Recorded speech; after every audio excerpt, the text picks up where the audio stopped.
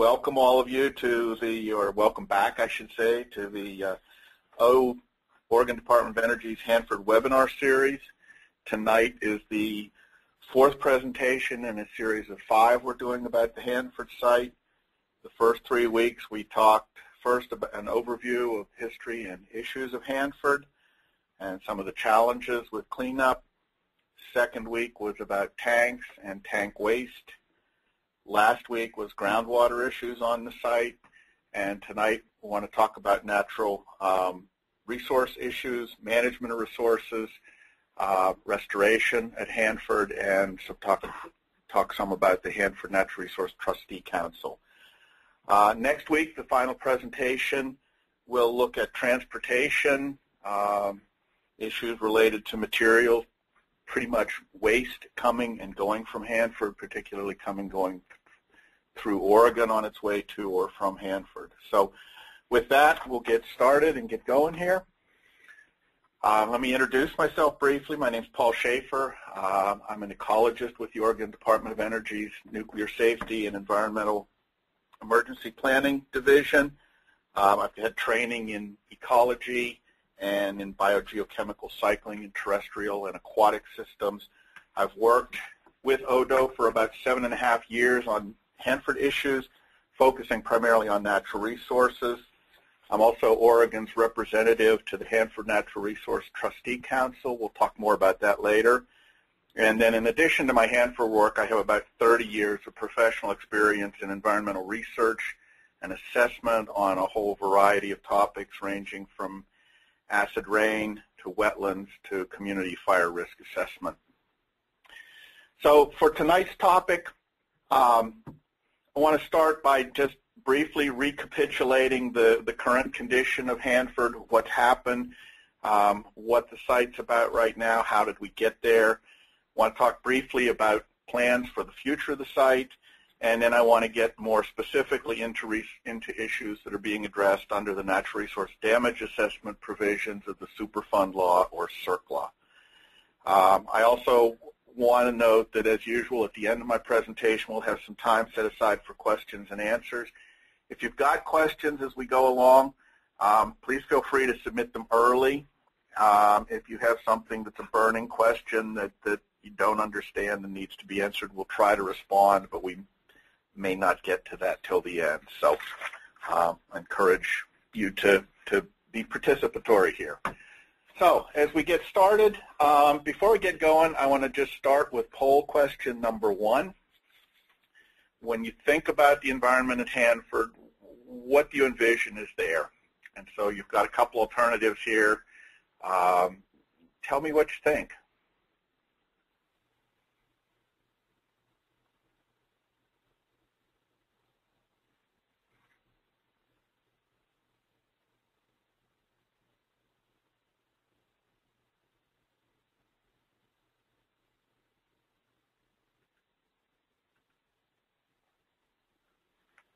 Okay. Um, we, we got somebody, at least one person answered each of these options.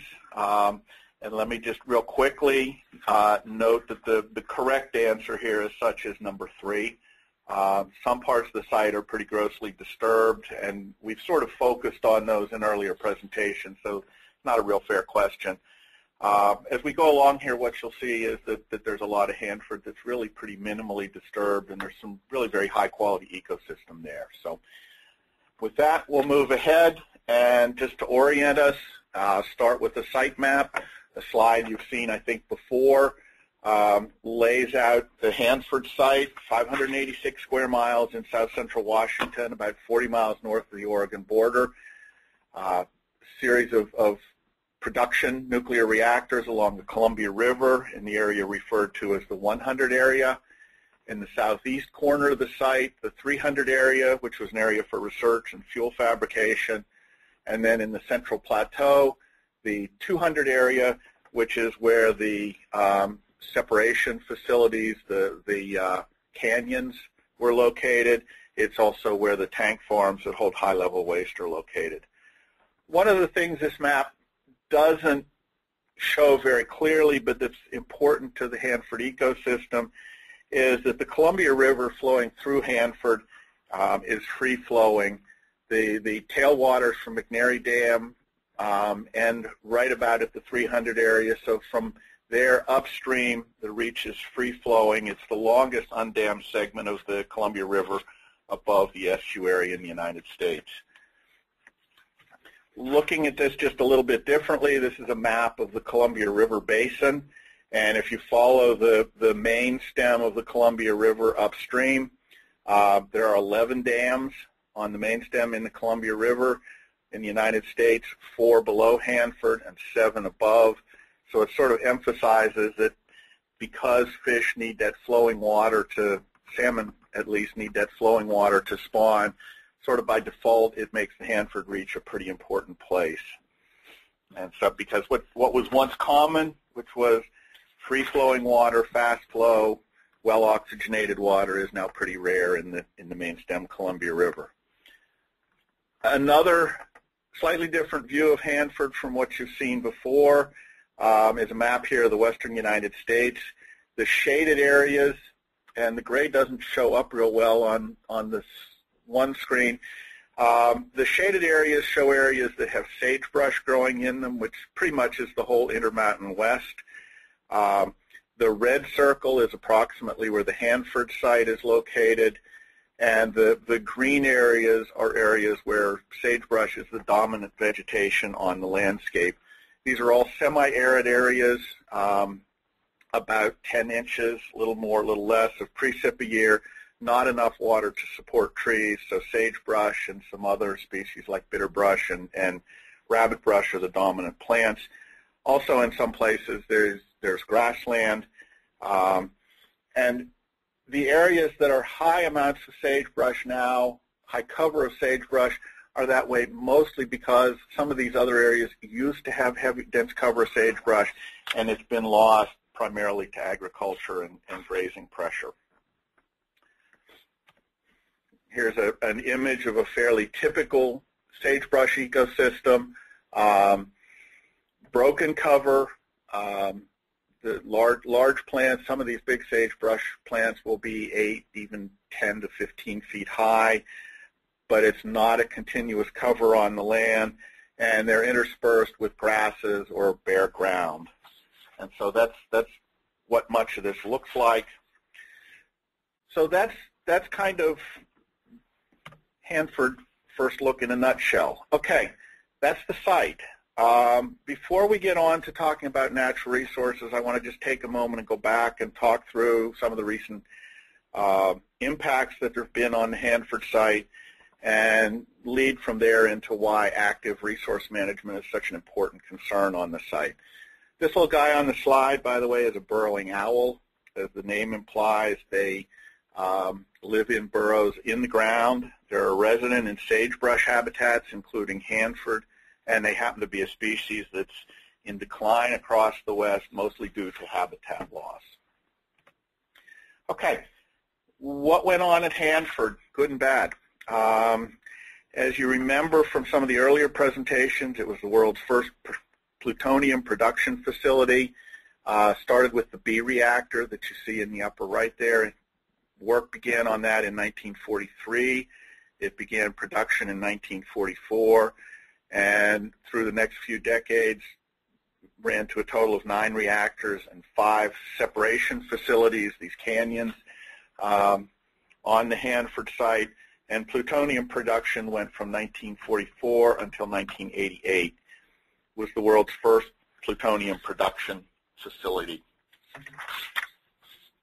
In addition, uh, as a byproduct of all that um, chemical work that was going on, there were massive quantities of waste produced, both radioactive and chemical, and much of that was released into the environment. About 440 billion gallons of liquid waste went to ponds, trenches, and cribs on the site, and in addition, millions of pounds of solid waste, as you see some examples on the left, uh, were packaged often in boxes or barrels and went to burial grounds and trenches and there are literally thousands of, of waste sites um, at Hanford, some of which have been cleaned up, some have yet to, to really be touched as part of the cleanup operations. In addition, there's about 55 million gallons of high-level waste um, in underground tanks, 177 total underground tanks on the Central Plateau, and a little over a third of those known or suspected leakers that have released more than a million gallons of waste into the environment. Some of that's gone to groundwater.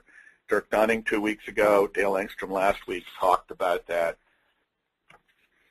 And in addition, um, Dale talked quite a bit about groundwater issues, uh, both from tank leaks in the plateau where you see here and from, from a variety of the other releases of liquids to Hanford.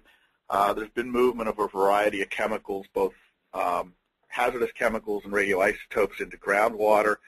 This map shows plumes just in the central plateau, and as you can see, a wide range of chemicals and isotopes um, that, that have reached groundwater. If you look at the entire site, excuse me, um, this, the, the shaded areas on this map show groundwater with contaminant concentrations that are higher than the legal standard. Typically, that means higher than a drinking water standard um, for at least one contaminant and covers about 90 square miles of the Hanford site. In his presentation, Dale talked about a variety of treatment systems that are being used to try to control and, and remove contaminants from groundwater. Some have been quite successful. Some have not worked very well. And some of them are pretty new, and we really don't know yet how well they're going to work. So it's pretty obvious um, Hanford's been responsible for some major insults to the environment in, in south central Washington. It's been described as the most contaminated site in North America. It's a very daunting uh, set of ways to try to clean up and, and, and to restore the site. But I think it's only fair to note that the effects of Hanford have not been all negative. Um, activities and management of the site, primarily restricted access by the public, restricted land uses, um, done originally for security during the era of plutonium production, more recently to prevent um, exposure of the public to Hanford contaminants, has protected a lot of the land on the site. The result is that Hanford has some of the highest quality habitats in the Northwest, and this is beneficial in a couple of ways. If you remember the map I showed you with um, where there was sagebrush habitat, this is a map produced by the state of Washington looking only at Washington. All of the shaded area is, is land that at some time was dominated by sagebrush. Um, the blue areas, which is most of that, um, have lost most or all of the sagebrush, primarily by conversion to agricultural land. Uh, the yellow and brownish or tan areas um, are areas where the cover is still relatively intact. And as you can see, the area inside the, the red circle there, where the Hanford site is located, is one of the, the large areas, the few large areas that's, that's relatively intact and has been pretty well protected. The other area that goes close by that's also relatively intact in here is another um, area that's had restricted access. It's the Yakima Proving Ground, which is a, a Department of Defense uh, training facility. The, the, the bottom line is that Hanford and this Yakima Proving Ground are now regarded as the most, as the largest piece of intact sagebrush steppe habitat in the Northwest. I do want to point out that I said DO actions, DOE's actions have mostly protected habitat. Um, unfortunately, Hanford's had several range fires, a couple of them very, very large in the last 20 years that have burned or in a few cases reburned uh, almost half of the site. So while the site has still natural vegetation, it's some of it is very young, very immature in terms of, of uh, what kind of condition the, the sagebrush habitat's in. So by this habitat being protected, it means not just that we're protecting this sagebrush, but we're also protecting the critters that live on that sagebrush. Um, and, and these are a few examples of, of what you see on and around the Hanford site. Um, ferruginous hawks, sage sparrows, mule deer, and elk also. Um, burrowing owl, our little friend again, pygmy rabbit. Uh, these are all species that, that are native to Hanford. Um, many of them are in decline, um, partly on, not so much on the site, but around it, again, because mostly of habitat loss. The other picture that's on here at the bottom is the sage grouse. Um, this is a, a species that's actually never been very common on Hanford, even though it's one of the iconic species in sagebrush systems. Um, I included it because one of the restoration goals for the state of Washington is to establish a breeding population of sage grouse on the Hanford site at some time in the future. And just like the terrestrial habitat's been been protected by land use restrictions, um, much of the Columbia River has been protected. Access has been limited. Constructs possible construction of a dam partway along the Hanford Reach was prevented um, because of Hanford operations. And again, this has not just protected the river, it's also protected the species that live in the river, and there's some examples here. Chinook salmon, steelhead trout, white sturgeon, and Pacific lamprey. Uh, as I mentioned earlier, salmon require flowing water and coarse sediments to spawn successfully. And so, again, by default, because it's the, the only large free-flowing reach, Hanford's now the, the most important spawning habitat in the Columbia River system in the United States, more than 10,000 redds in a typical year. I also included the lamprey, which a lot of you have probably never heard of. Some of you probably think's kind of unattractive. I'd agree. Um, but it's an important species culturally for the Native American tribes, particularly the Nez Perce. It's important for ceremonial purposes. It's important uh, historically as a food also. Um, and it's a species that's in very severe decline in the mid-Columbia Basin. Uh, that decline is believed to be predominantly due to construction of dams and other facilities along the river.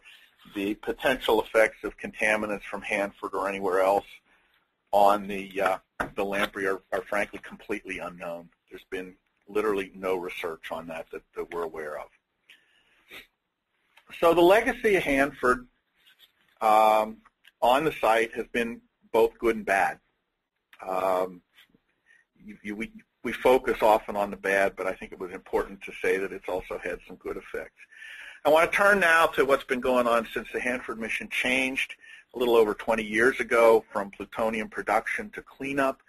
In 1989, the transition started with the signing of a, of a legal consent decree that's commonly known as the Tri-Party. Uh, that was signed by Department of Energy, US EPA, and the Washington Department of Ecology. Um, that's why, obviously, tri-parties. And that officially converted the mission of Hanford from production to cleanup when the TPA was set up, it established a framework and a process for cleanup and cleanup planning and decisions. And at that time, it was envisioned that it would take about 30 years to clean the site. Unfortunately, that schedule was optimistic, and obviously we, we are not going to meet that. Uh, so moving ahead to what has happened since 1989, I want to look at three areas with you. The first is cleanup or response operations under CERCLA.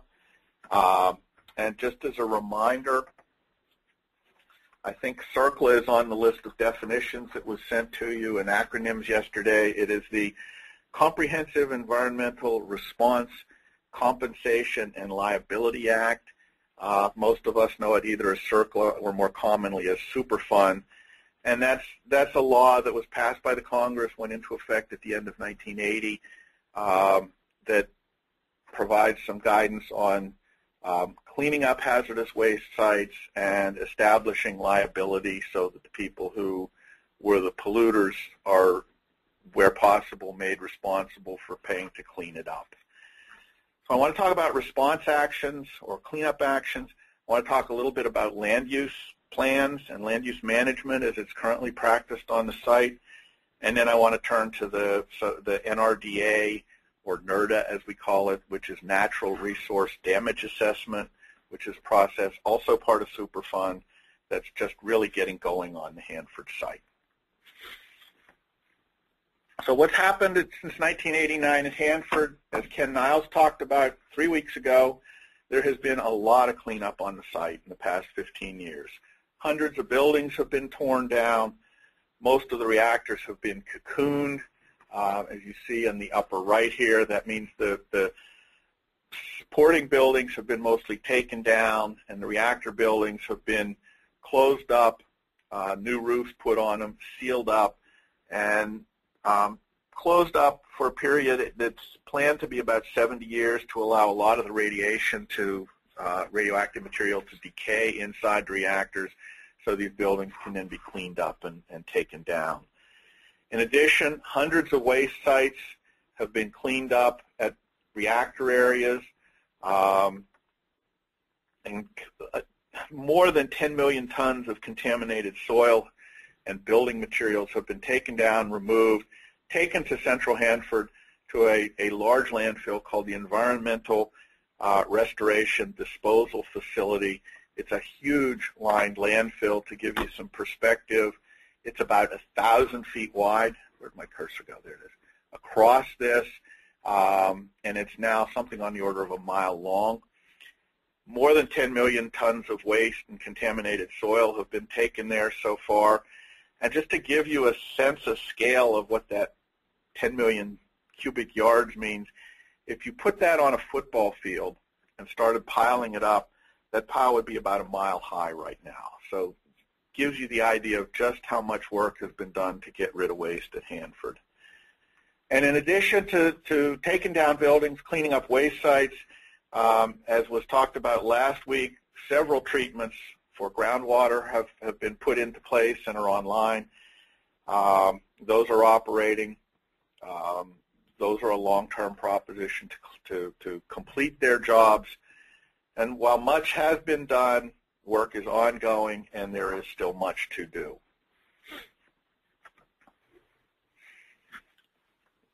The, the strategy that's being implemented at Hanford is to start with the river corridor. Um, it's the area along the river. And to complete most of the cleanup there in the next three to five years, the target was 2015. DOE had a document called the 2015 Vision, um, which, which was to finish the river by then. And they, the, the decision was made by DOE to start along the river for a couple of reasons. First of all, it got a lot of, of waste that was very close to the Columbia River cleaned up and gone, so contamination of the river from those sources either wouldn't happen or where it was already ongoing, it would end. Uh, it was also sites that were relatively straightforward to, to figure out what was there and clean up, and it had some visibility to the public. Um, so most of us think that was a pretty good strategy to start there. And then when that nears completion, to start moving to what's referred to as the outer area of the Central Plateau. I'll show you a map with this in just a moment. And then finally, finish cleanup of the, the what's called the inner area of the Central Plateau, the 200 area, um, and the area around the tanks, sometime about 2050 50, after completing processing tank waste. Uh, one of the things that I think is important to note is that not all waste will be cleaned up at Hanford um, for a variety of reasons. In some cases, it was believed that that material was, was not mobile um, or, or would not be mobile in the future, so it was okay to cover it with soil and leave it in place, that it wasn't going to move. In some cases, the decisions were based um, in part or largely on cost as a major factor, that it's simply very to, you know, a lot of work for sometimes not a whole lot of contamination, so it's hard to get it cleaned up and it's tough to justify the money.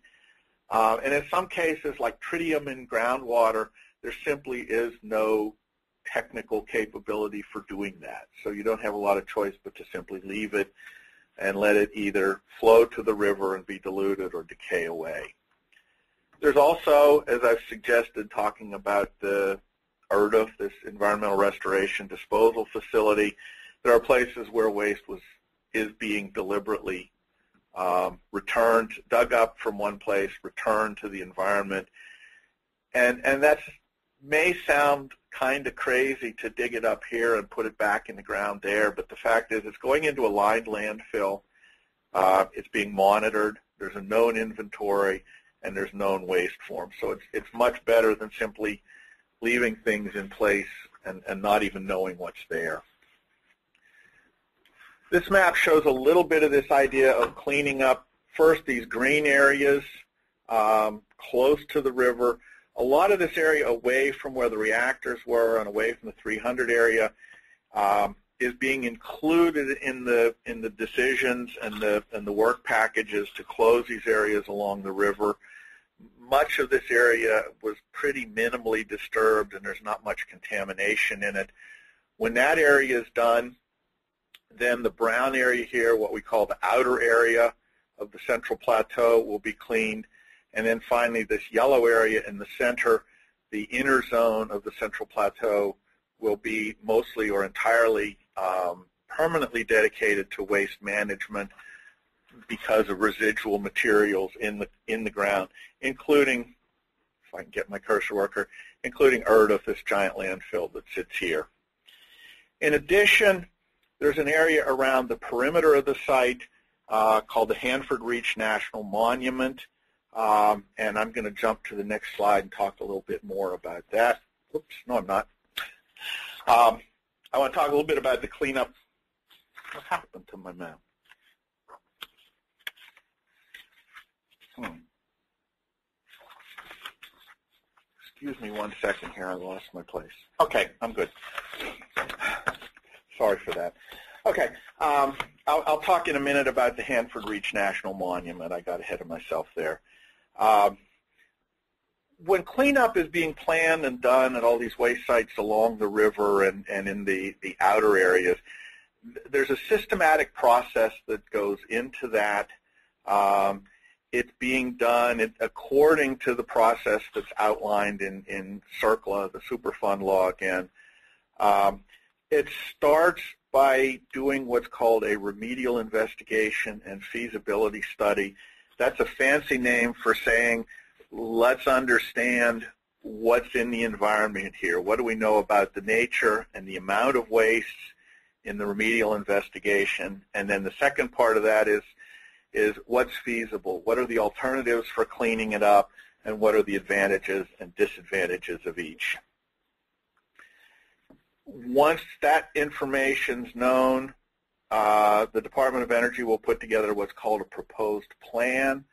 And as the name suggests, that's their intended path forward. That's what they intend to do to resolve the, the waste issues in those areas to, to reduce risk, either by removing waste from the ground or isolating them where they won't be mobile. Um, at that point, the regulators um, EPA have to approve of that uh, proposed plan. They write what's called a record of decision, which is the formal document that says here's what's going to be done and, and here's the time frame in which it will happen. And then those cleanup actions are implemented. And that process happens um, roughly according to that approach over and over and over again at Hanford as, as these individual waste sites or groups of waste sites have been cleaned up. Uh, I should also note that, that throughout this process there is review, an opportunity for review by stakeholders, particularly back at this initial um, remedial investigation phase. But it's important to recognize that the decisions are ultimately being made by DOE and the regulators. Okay. Um, let's let's uh, get ready to jump a little bit ahead here. That's what's happening with cleanup. But once cleanup is over, are we done? What happens? Um, how's the land managed? So on. So I want to go to poll question number two, um, which is what happens after cleanup's completed? What's going to be done with the site? And I should say this question has had a huge amount of discussion for the last two decades. There is not, probably never will be, complete consensus on what ought to be done. Uh, but just to let you think a little bit about the alternatives, go ahead and, and uh, answer the this. There's five possibilities for you here.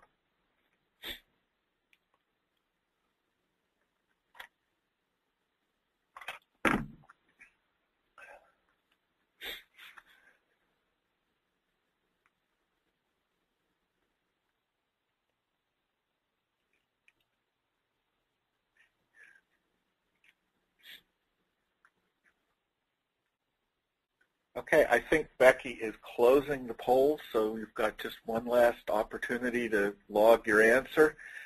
Um, most of you selected the fourth option, which is to preserve the site um, as habitat for native species uh, and permit some, some level of recreational use. About two-thirds of you chose that. Uh, mercifully, nobody chose nothing, believing that the site's too contaminated um, and nobody was in favor of developing the entire site for industrial or residential use. Um, I, I, should mention that almost all of those alternatives have been seriously proposed at some point or another.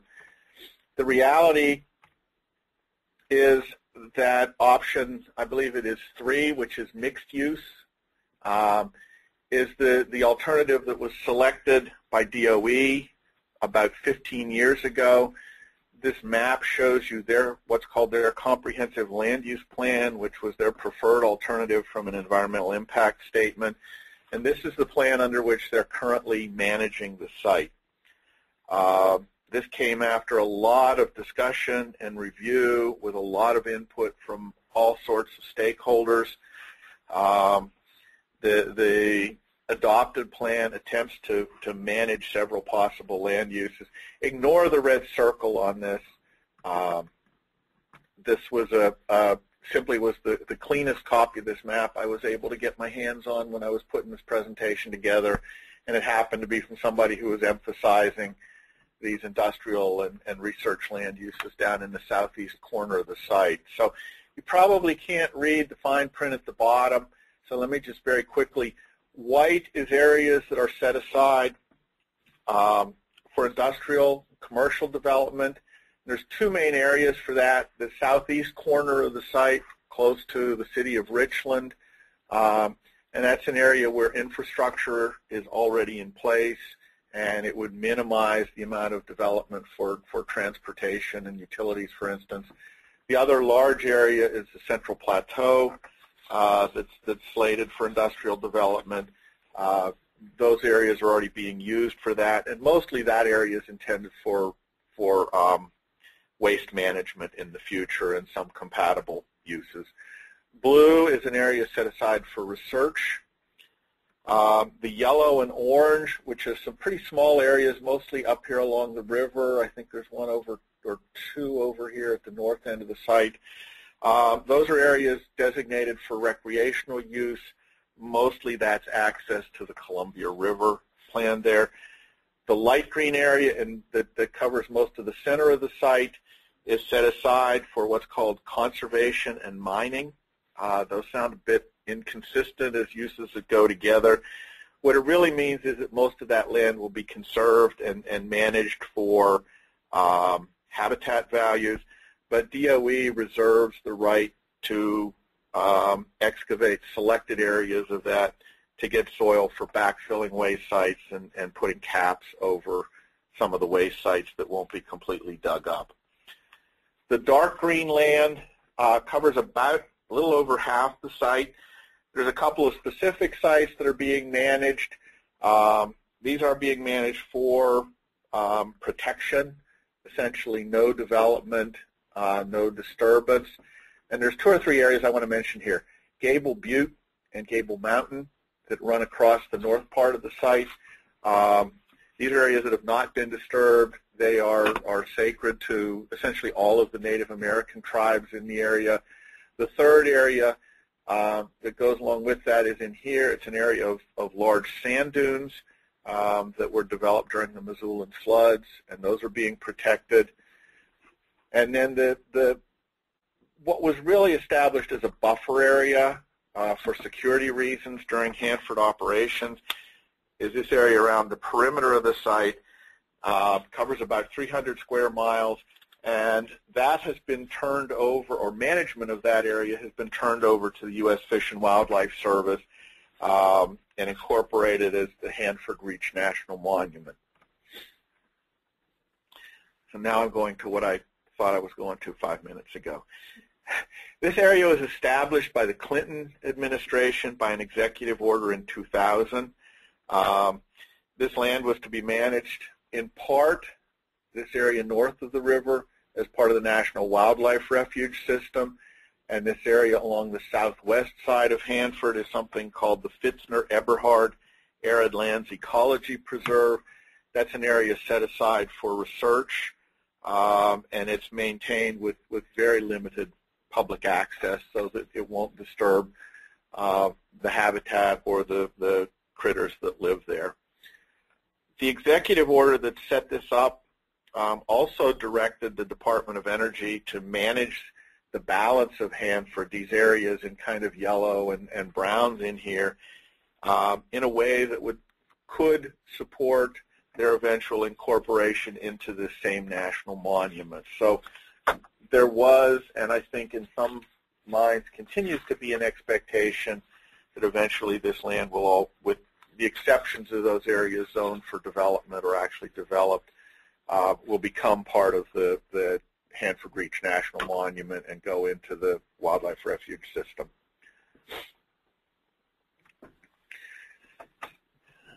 Okay, um, looking ahead, what, what needs to happen? Um, we're kind of caught up to now on cleanup. We're talking, we've talked a little bit about current land use management of the site, what happens in the future and what needs to happen. Um, as DOE develops and implements plans for cleanup, once those plans are in place, once the work's been done, if results are monitored, is there anything else that needs to happen? Um, what needs to be done to ensure the long-term integrity of the site? And that brings us to poll question number three, um, which is a bit of a rhetorical question. It's setting up the rest of my presentation, and, and it asks, why are injury assessment and restoration important at Hanford? So please take a minute, look at these answers, and, and uh, give it your best shot.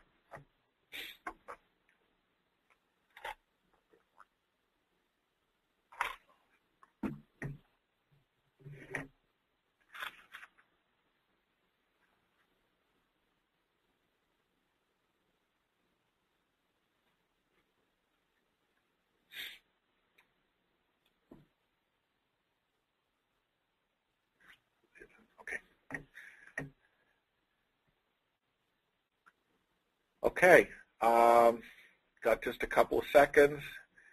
Um, and I think most of you got this right in part, if not right completely. The correct answer is all of the above. There's, there's several reasons why additional um, assessment work and restoration are, are important at Hanford.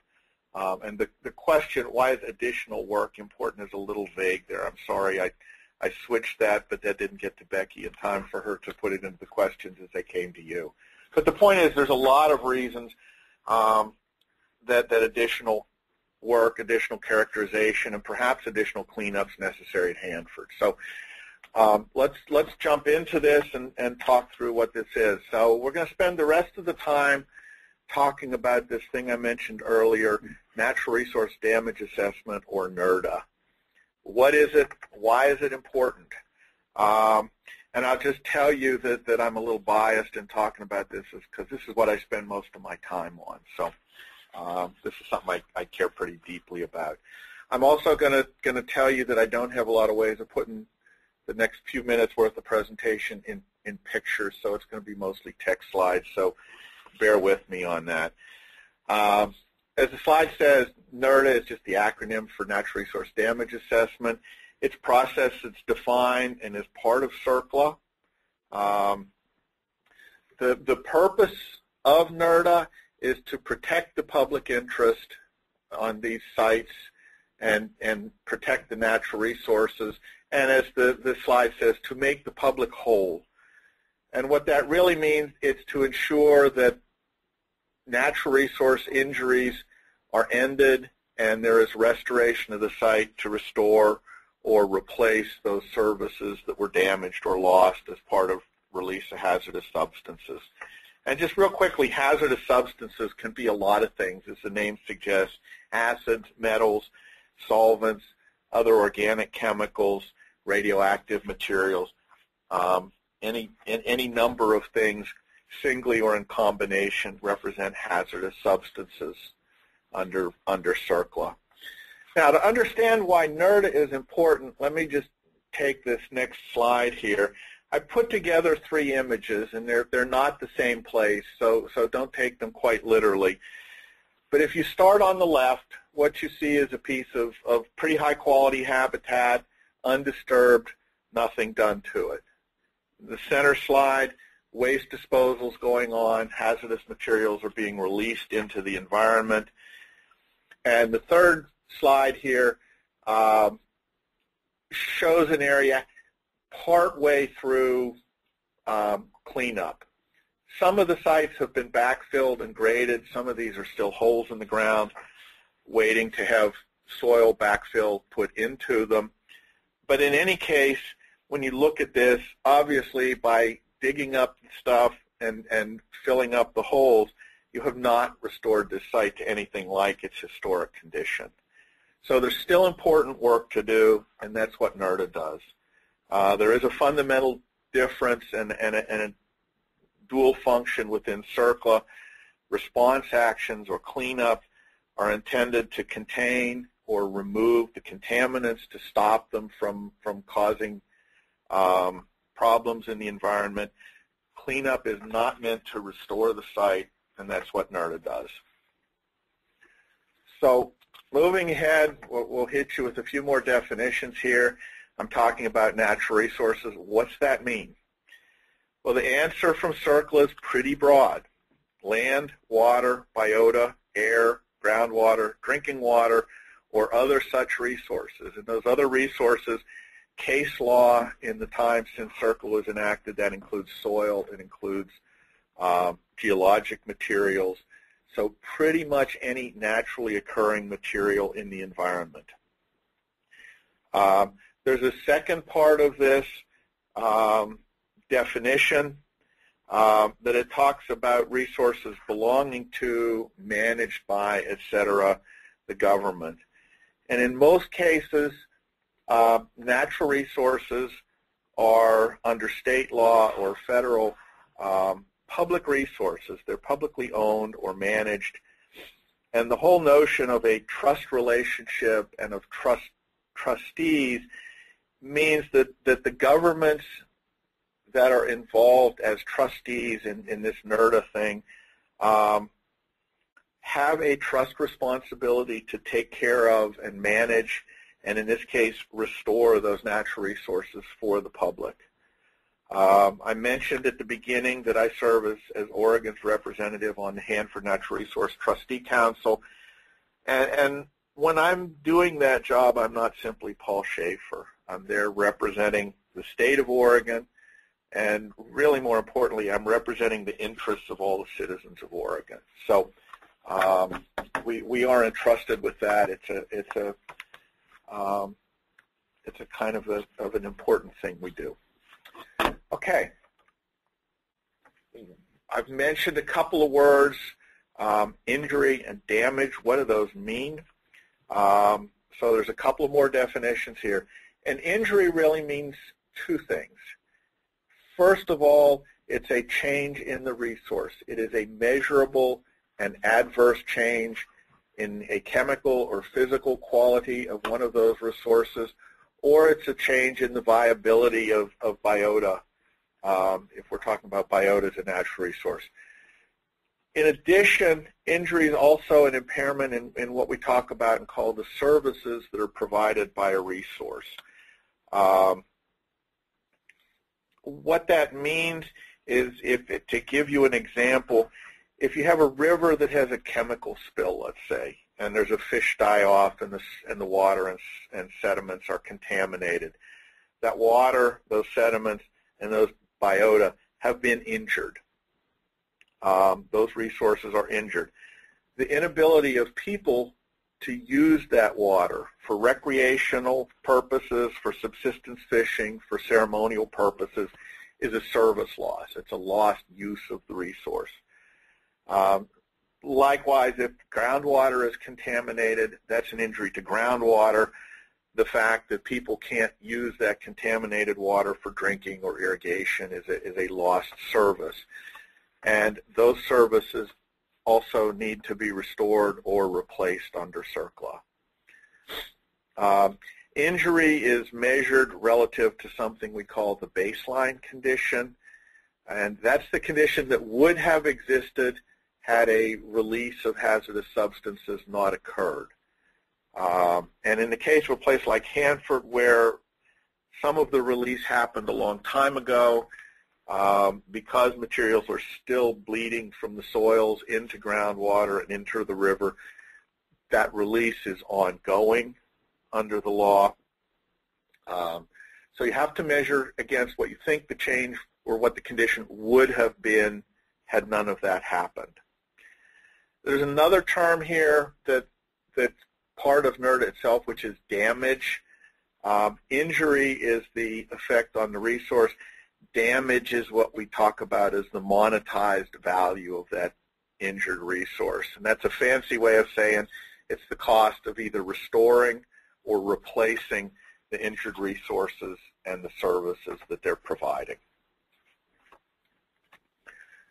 So how does NRDA happen?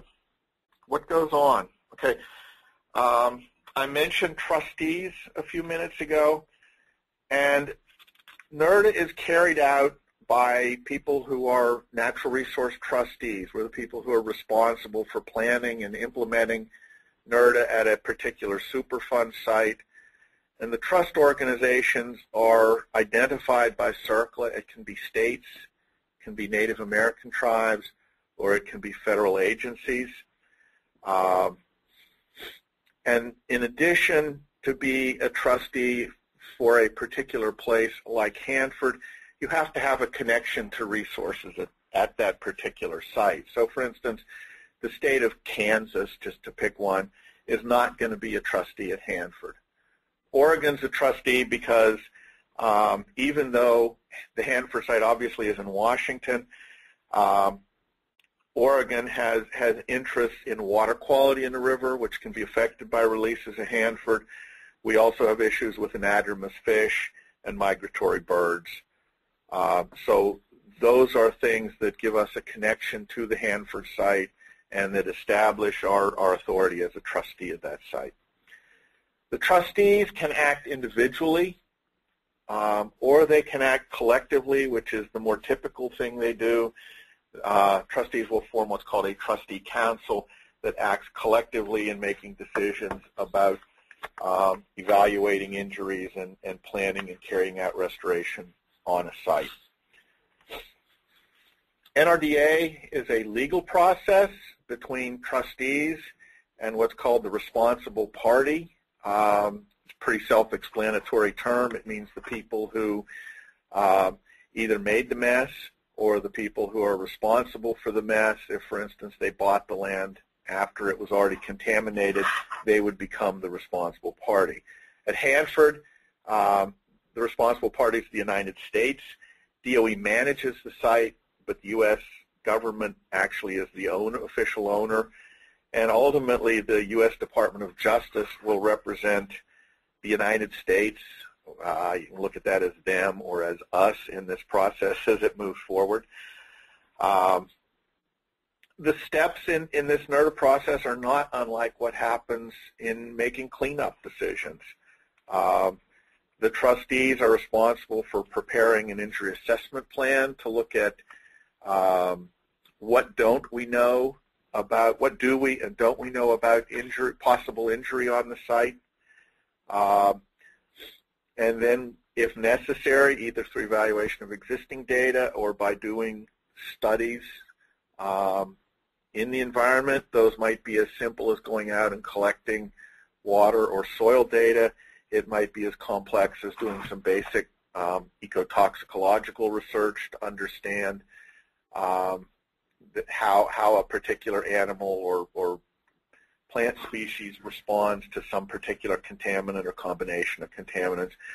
Um, so you, you characterize the occurrence and the extent of injuries to natural resources, and then based on the magnitude of those injuries, plan and carry out restoration to, to compensate for them, to replace them, or to fix, to, to restore the injured work. Um, one of the things in this process about doing the, the damage assessment, um, when CERCLA was written, it was envisioned that this would be sequential. Somebody would clean up the site, and then somebody would come in and say, okay, now what do we have to do to restore the, the environment? More recently, and particularly in big complex sites like Hanford, um, it's, it's been recognized that you really ought to do the two of them together.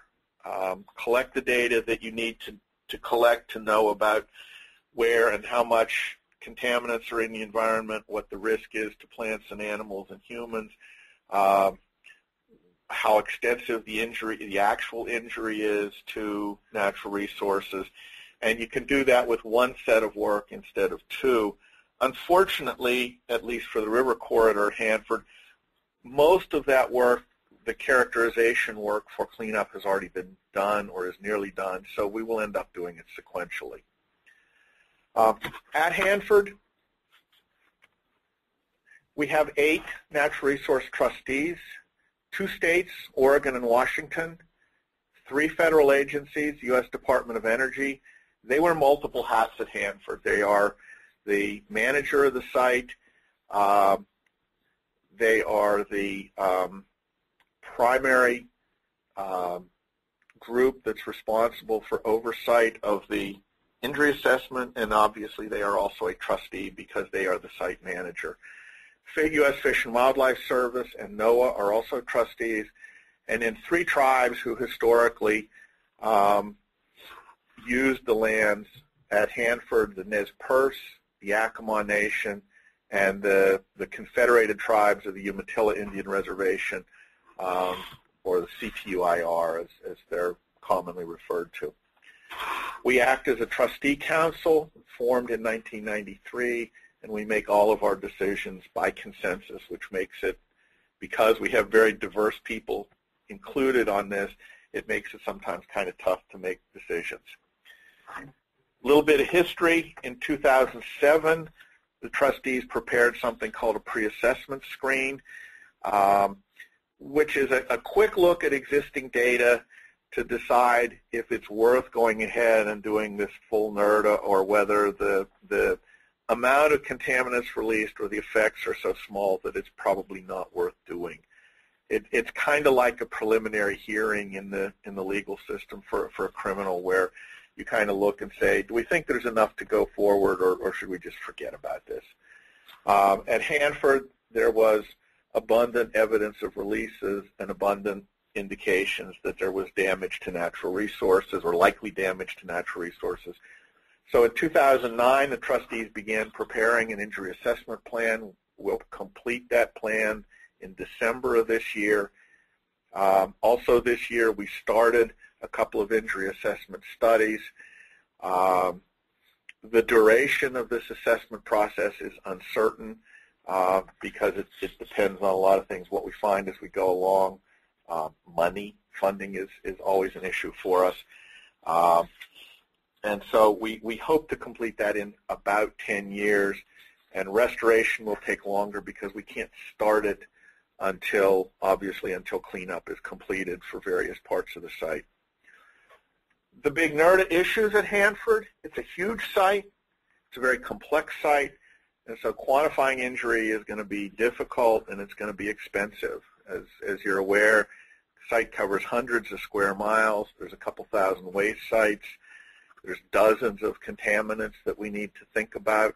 Most of those will probably turn out not to be a big deal for us, but we're not sure which ones we need to worry about and which we don't. As I mentioned a moment ago, funding is limited for this work, so it will uh, move more slowly than we'd like it to. Um, one of the concerns we have is that there's a lack of consensus among the trustees about what we call an injury threshold. What that means is the concentration at of contaminants in, say, soil or water that are high enough that they cause adverse effects to um, plants and animals, and, and also how they affect people's use of the site. I'll touch on that a bit more in just a second. And then, um, obviously, we're not sure about how complete cleanup will be at a lot of the waste sites. We're not sure about success of some of the remedies that are being implemented. For instance, some of the pump and treat systems, um, some sites that will that will have a, a cap or an earthen cover put over the site with the idea of, of preventing water from moving down into the deep soils and therefore preventing movement of contaminants. And until we know that, the trustees either need to make some assumptions or guesses about how well the remedy will work, or we will have to wait and, and see. Um, when we turn to restoration at Hanford, there's a number of challenges for trustees there also. Um, the recovery of some of these species, sagebrush in particular, is slow. Um, several decades at minimum uh, once these are planted until there's a mature, fully functioning ecosystem. Another complicating factor with vegetation is invasive plants, particularly cheatgrass. It makes it harder to get native plants reintroduced and established. Cheatgrass also is important because it um, promotes fire on the system. Again, limited funding will limit the rate at which restoration goes forward. Um, as I mentioned before, there's some competing land use goals so that things the trustees might like to see preserved or restored might in some locations be used for industrial development. That will, will limit our options. Uh, we don't always have, just as we don't always agree on thresholds for, for injury, we don't always agree on what the restoration goals ought to be. And it's partly within the trustee council, it's partly with the, the larger Hanford community. And, and another issue um, is that there's a complex, not well understood and not legally well defined relationship between NRDA and tribal treaty rights. The three tribes I mentioned that, that traditionally used Hanford um, all signed treaties with the United States government in 1855 that ceded much of the site to the government, um, but at the same time it gave each of the tribes certain rights to hunt and fish and use the land for a variety of purposes. Um, and so some of those rights get entangled with decisions about what to do and how to do with cleanup and, and NRDA. One of the big issues with tribes is a lot of the cultural losses for the tribes are what we call place-based. Um, and what that means is if a site that's important to the tribe for for um, for whatever reason is is damaged or destroyed or you're not allowed to have access to it, you can't simply take a piece of land someplace else and say, here, this replaces it. Um, it would be sort of like the being Christian or Jewish, I suppose, and being told Jerusalem is off limits forever. You cannot, can't go back there to, to practice those, those things that are fundamental to you. Uh, similarly, cleanup levels, um, how, how much you need to clean up contaminants. Um, in the case, partly to get past this place-based losses, some of the tribes are arguing that the only way to get around that is to completely clean up all of the contaminants at a site. And that would require very, very extensive additional cleanup. Um, it's not clear there's, there's enthusiasm by everybody for that or that there's money to, to get it done. But again, contamination degrades the site and degrades the, the particularly the cultural practices for the tribes, or in some cases, even if they're told the contamination levels are low, it's safe, they might be reluctant to um, go on a site or use plants or animals that come off of it. Um, and then finally, parts of the Hanford site are sacred. They're very central to some of the tribal beliefs and practices. And so protection of those areas is very important to tribes, um, inconsistent with current land use plans as practiced by DOE. So NRDA might get caught up in the middle of, of those decisions. There's a lot of ongoing decision and discussion, or a lot of ongoing discussion on that, and I'm not clear when or how we'll resolve that. So, wow, in a little less than an hour here, you've sort of had a crash course in cleanup and NRDA and trusteeship. Huge amount of information to digest. I kind of apologize for, for putting so much on you. Um, I'll be back in a minute to, to take questions that you might have, but in just a moment here I want to turn the, the microphone over to Becky Rubenstruck, um, who organized this program, and she wants to talk a little bit about public involvement. But before I do that, I want to just share a couple of thoughts here. Um, one of the questions with this webinar series, one of the things we hope to get out of that is to, to stimulate some, some interest and enthusiasm from those of you who are participating in Hanford activities or in similar um, involvement with similar problems and, and issues at other locations. You're already doing the most important part of that, which is being involved, getting educated on the issues, being interested, and, I, and we thank you very much for that. Um, for those of you who are not yet on a solid career path, um, I want to encourage you to think about relevant careers that, that can help resolve problems at places like Hanford. That might be technical, you know, training in ecology or chemistry or hydrology or engineering, but it might also be public policy, things that touch on public policy because these are technical, technically based decisions, but they are ultimately policy decisions that are made by the public and, and by the politicians. And so being part of that decision process is important. Um, one of the things I kind of worry sometimes about when I look at our Hanford technical staff, um, you, have seen pictures of Dirk Dunning and Dale Engstrom and me. Um, and similarly, the people on some of the people on Hanford Natural Resource Trustee Council. Now, Hanford's not going to go away anytime soon, but some of us will. We're getting close to retirement in the next five or ten years, and we're going to need competent, interested people to replace us. So uh, if you're not already thinking along those lines, I, I want to just encourage you to consider um, career choices that would, would help you be more effectively engaged as a professional.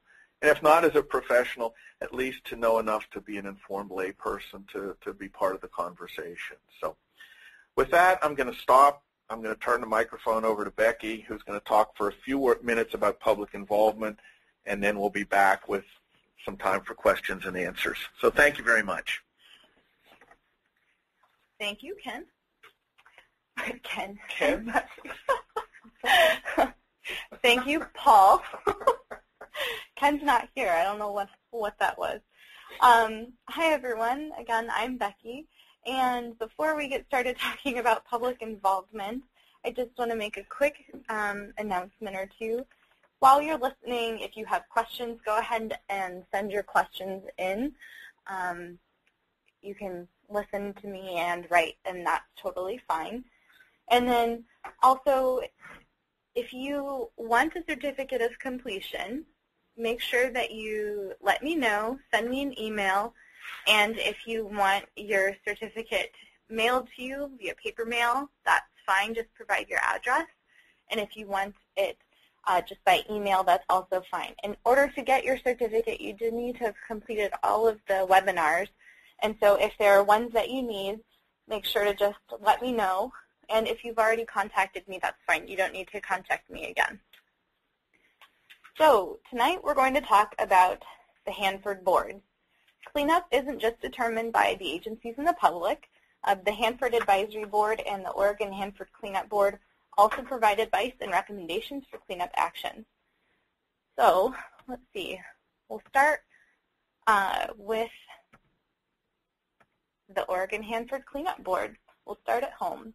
It was established in 1987 by the Oregon legislature, and it has about 20 members comprised of citizens, legislators, representatives from the governor's office, the Confederated Tribes of the Umatilla Indian Reservation, and two state, uh, two state agencies. Um, they meet three to four times a year, usually somewhere along the river. The meetings are two days long and are open to the public. The mission of the Oregon Hanford Cleanup Board is to serve as the focal point for state government discussions of high-level radioactive waste disposal issues, to recommend state policy to the governor and legislature, and to make policy recommendations on Hanford-related issues.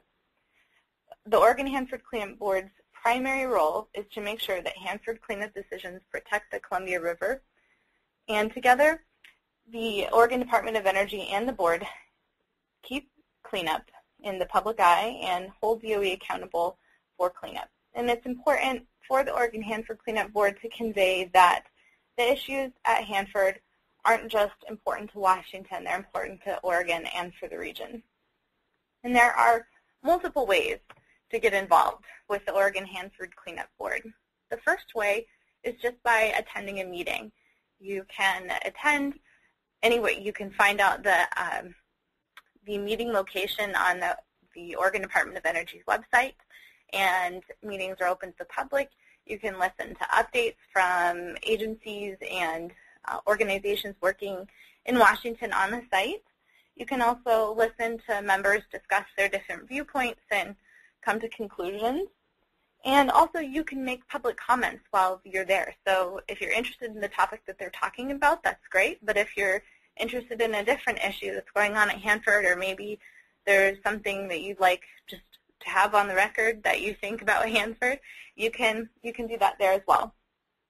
If that's not enough, if you want to sit on the board, you have to wait until a seat opens and then you can apply and you would send your application to the, um, the governor's office.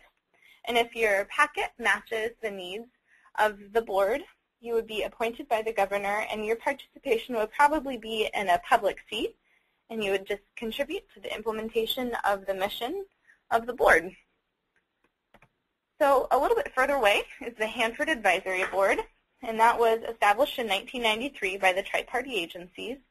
There are 31 seats, and they're made up of members of the public, local and regional interests, environmental and business interests, worker and non-worker interests, and different government governmental entities at all levels, including mm-hmm. two state representatives from the state of Oregon. And each seat has an alternate. Meetings are usually held every other month in the Tri-Cities in Washington, and that's, those are full board meetings. And they're usually two business days long, but committees meet at various other times, either before full board meetings, after, or sometimes even on the phone. And there are five committees that you can observe, budgets and contracts, health, safety, and environmental protection, public involvement and communication, river and plateau, and tank waste committees. And the mission of the HAB is to provide informed advice and recommendations to DOE and its two regulators, the U.S. Uh, Protection Agency, Environmental Protection Agency, and the Washington Department of Ecology on selected major policy issues concerning Hanford, which includes a wide range of issues from cleanup standards and environmental restoration to risk assessment and management. An interesting point, uh, Paul mentioned that they uh, develop advice or they come to decisions by consensus, and that's true also for the Hanford Advisory Board.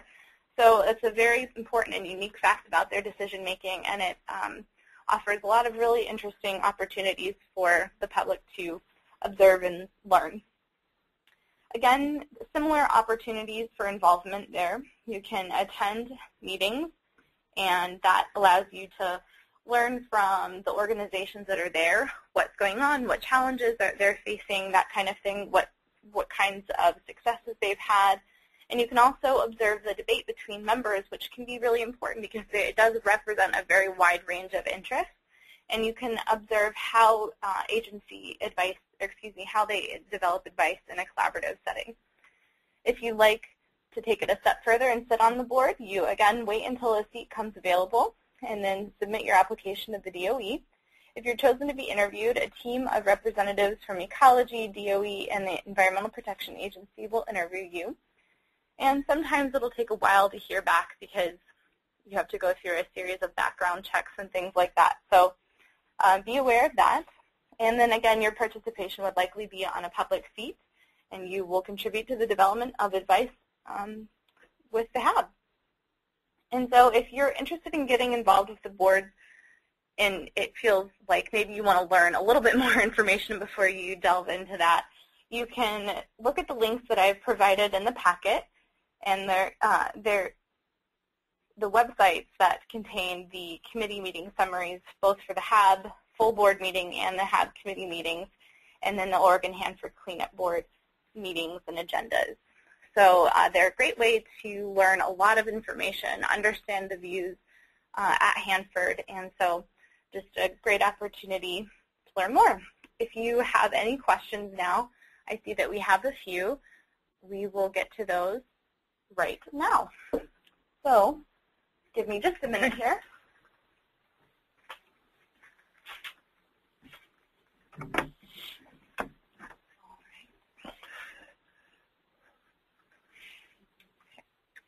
So can you read that? Yeah. I, I was just going to say, I got one question here. Before I start to answer that, I want to again just thank you for your interest and participation and, and encourage you that it's your term and turn to, to ask us some questions. And um, if you happen to have lingering questions from one of the previous presentations, um, feel free also to ask that, and I may or may not be able to answer it, but I'll give it my best shot. So. Okay, first question. Are there any biological methods being tested that will help with cleanup, such as bacteria, that can consume radioactive materials and convert them into safer forms? Okay, good question. Um, ideally, let me let me start. If you remember, I kind of talked about cleanup is is getting hazardous materials out of the ground or immobilized and this question, in a way, really speaks to that cleanup part of the process, not to NRDA. Um, in, in that, you know, that's where you'd like to see it happen. Um, DOE has done some limited work, not with radioactive materials, because there's really no way of converting those into something else except giving them time to decay.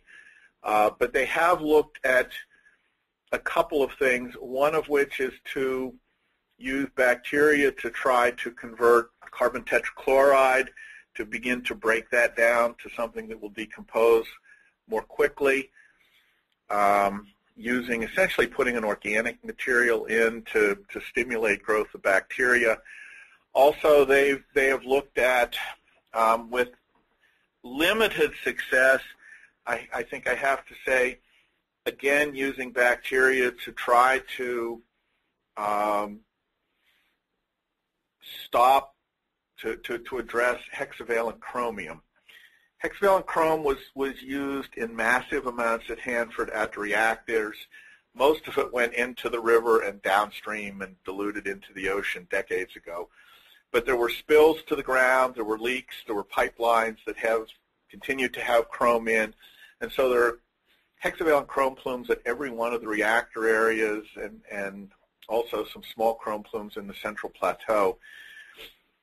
Hexavalent chromium is very mobile in the environment. It's very toxic. It's a carcinogen.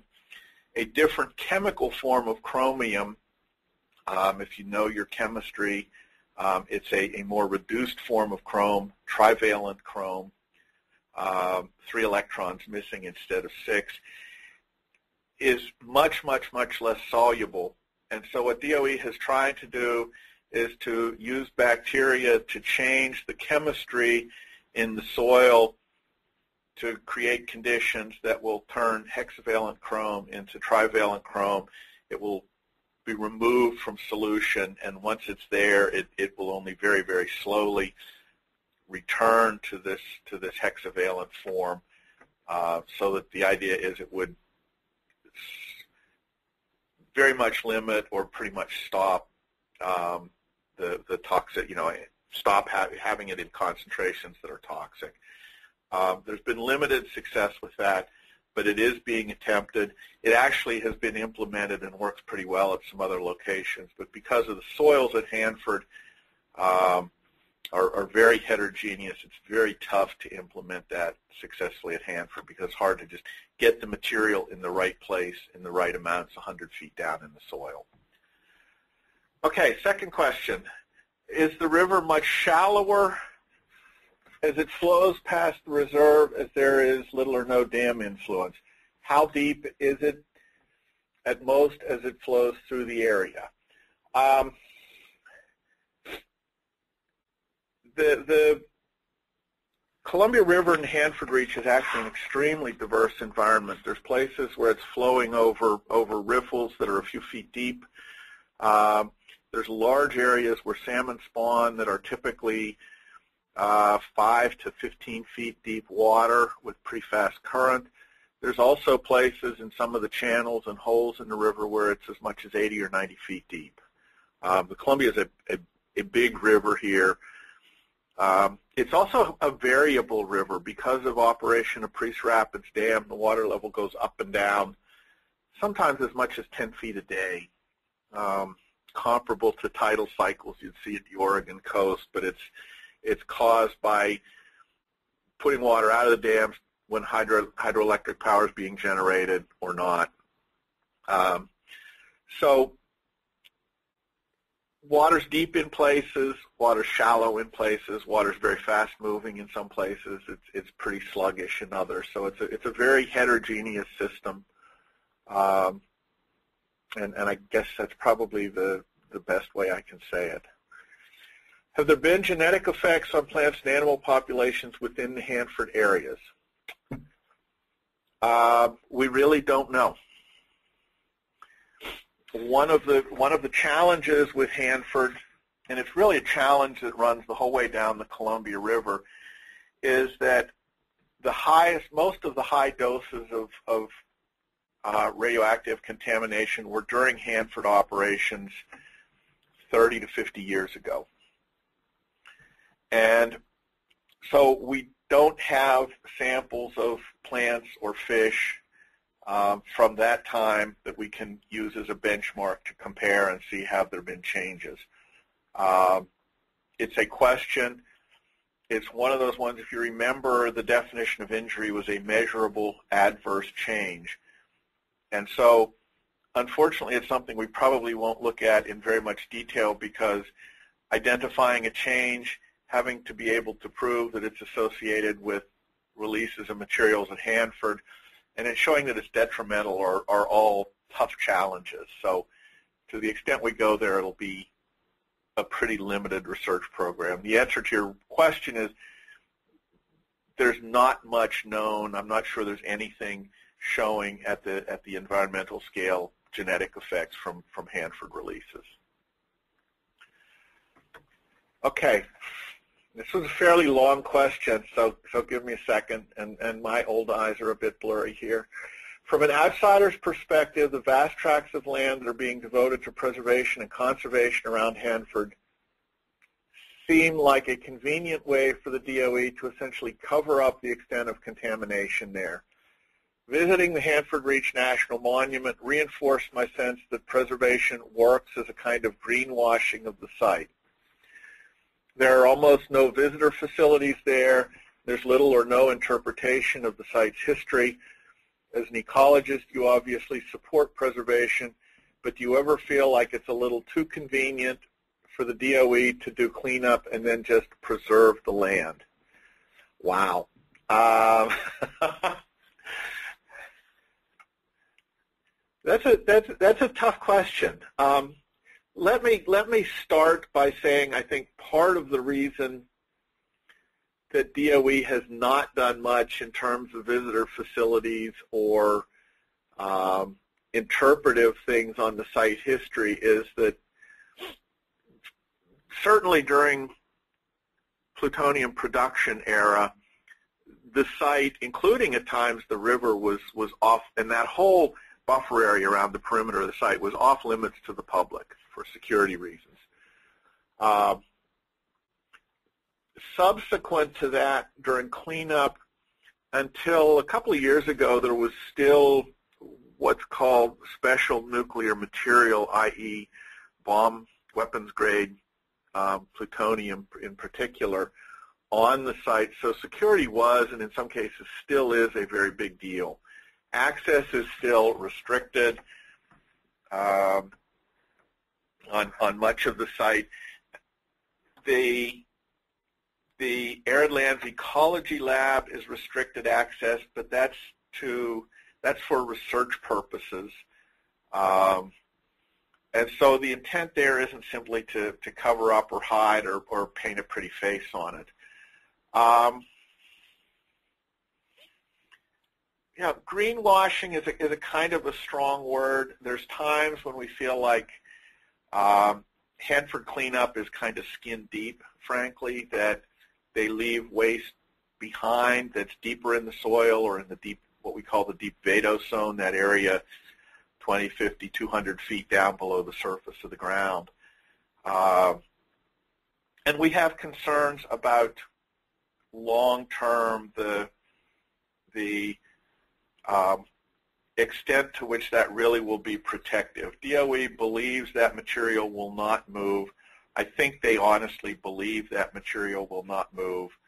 Some of us are um, less sanguine that it's that it's isolated and will stay there forever. And forever really is the key word there because these are, are wastes that will be with us for, for thousands and millions of years. For plutonium, for instance, the half-life is about 25,000 years. So decay during the next millennium will be trivial, negligible relative to the to the amount that's there.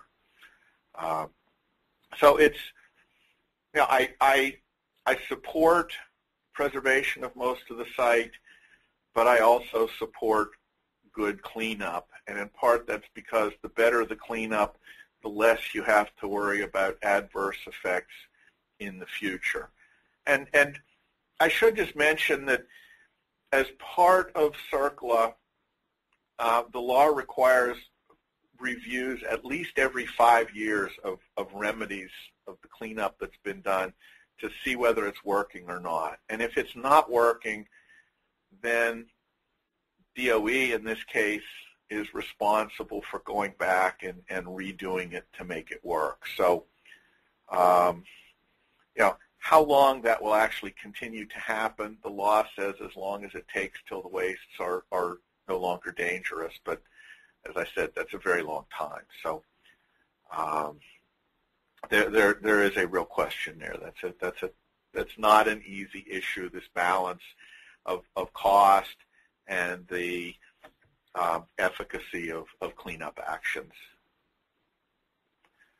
These are great questions, by the way, all of them. Okay, considering the land use plans currently approved seem to focus on preservation or conservation of the land, i.e. leaving the land alone for the most part to restore itself. What's keeping trustees and stakeholders from allowing the involved Native American tribes hold of the area? Um, I'll be honest and say I'm not the person who makes that decision. I don't know how those decisions are made. Uh, I know at least a couple of the tribes, in their mind, Hanford was theirs historically, and they would like to have it back. Um, I think the, the Department of Energy views this as being public land, and I think they want to keep it, for the most part, in public ownership, which would mean, as as I talked about in, in talking about the National Monument, that it would be um, managed by somebody like the U.S. Fish and Wildlife Service or eventually probably owned by those people. Um, know, certainly the tribes have opportunities for input. I think the tribes talk to all of the federal agencies talk to the tribes. Um, there is a both informal and, and formal what's called consultation on issues that are contentious. And so, um, you know, I, I, it's while the tribes would like to to own and manage the land, or at least manage the land, I, I frankly, my guess, and it's just my guess, is that probably won't happen anytime soon. And I'm and I'm not going to put a, a judgment, a value judgment, one way or the other on that. I think that's just how it is. Okay, next question. Are there biologists studying the ecosystems in the Hanford cleanup area? How can someone be granted access if they want to study the ecological effects of contamination? Wonderful question. Um, yes, there, there is study that's been going on for a long time. Um, in fact, just to, to give you a suggestion, I mentioned the, the area, the uh, Arid Lands Ecology Lab, the, the Fitzner-Eberhardt Arid Lands Ecology Lab is, is actually named for two guys who were researchers with the Pacific Northwest Lab who were doing research on that facility and, and unfortunately were killed in a plane crash a couple of decades ago. Uh, there has been research on the site pretty consistently. Um, Pacific Northwest National Lab, which is owned by Battelle, um, has worked very closely with DOE for several decades. I can't say exactly when that relationship started. They continue to do research on the site. Uh, there's other research goes on with people from University of Washington, Washington State University. Um, there have been contracts with other universities, including Oregon State, in fact, in the last few years. Um, I'm not sure exactly what the process is for getting access to the site. Um, I know PNNL used to have summer students or graduate students who would do work there. I'm not sure financially where that program still is. Um, that's something I could I could ask next time I'm in Richland, or I'm sure if you picked up the phone and called uh, U.S. Department of Energy Richland operations and, and asked for one of their public involvement people and said you were interested and, and asked a few questions, they could give you much better answers than I can to that. But I, but I will say there is research by a variety of, of um, universities and, and others there. I'm not sure what all the opportunities are.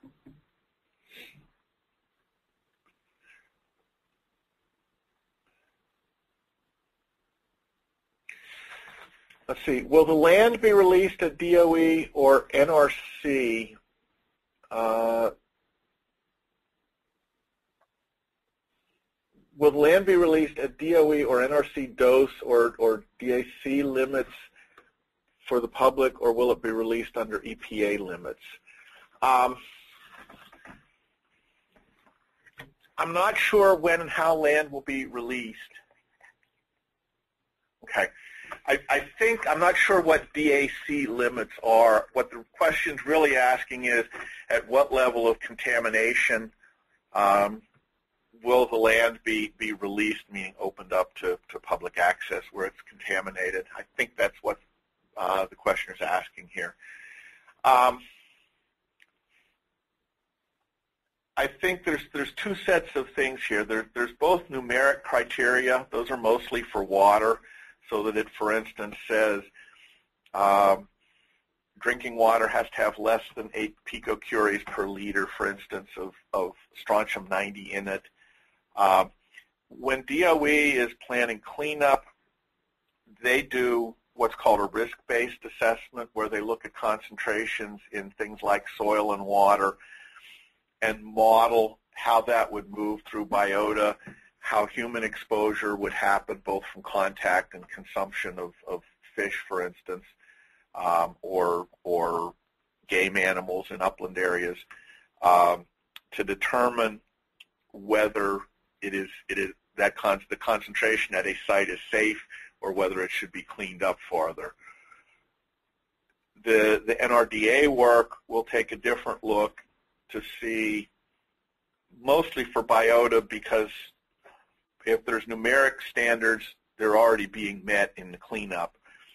But we will look also at a similar kind of thing, looking not at human exposure, but at the injury, potential injury to the, the natural resources themselves. So will fish or beetles or great blue herons or, or any of those other animals you saw in the pictures I had be exposed to high enough concentrations that there's the chance of, of uh, injury to those, either as individuals if they're a, a threatened or endangered species or to the populate at the population level for, for most species. And we don't know what those numbers will be until that work is done. In some cases, it will be the numeric standards that already exist. Um, there, there's no there's no one way that cleanup decisions are made or no one set of numbers that's used. I think probably the upper limit in any case, where a standard exists, like a drinking water standard, that's the highest concentration you would expect to to encounter, and the the belief is that those numbers are are safe.